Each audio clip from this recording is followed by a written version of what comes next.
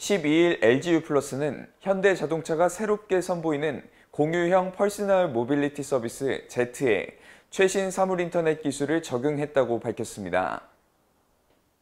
LGU 플러스는 이번 공유 모빌리티 서비스에 사물 인터넷 기술을 접목시켰는데요.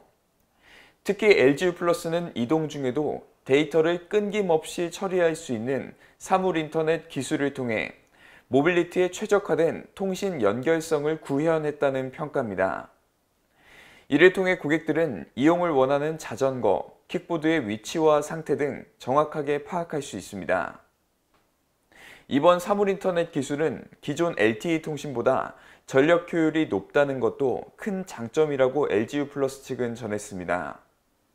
다량의 데이터를 전송하더라도 수년간 배터리 걱정 없이 이용할 수 있습니다. 이로 인해 위치 및 상태 데이터를 빈번하게 처리하면서 동시에 장기간 배터리 충전 없이 운영되는 공유형 personal mobility 서비스에 안성맞춤이라는 평도 나오고 있습니다.